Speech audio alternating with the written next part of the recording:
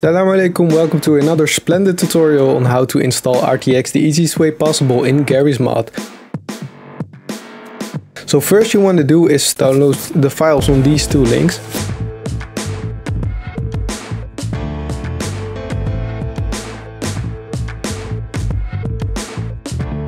Make sure you have the Chromium version on in betas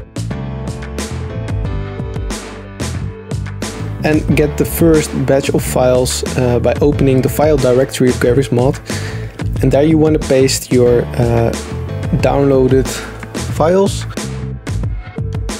and put them in the directory but not the launcher. The launcher has to be in a separate empty folder. The files are going to be copied here. It is required and you can't place this in the file directory. So get this a different folder, open it up and install.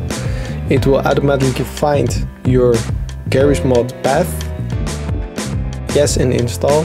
You can start your game and the new revolution of gaming uh, has begun, I guess. Such splendid visuals. Um, the possibilities are endless. So uh, enjoy while you can. Salam alaikum.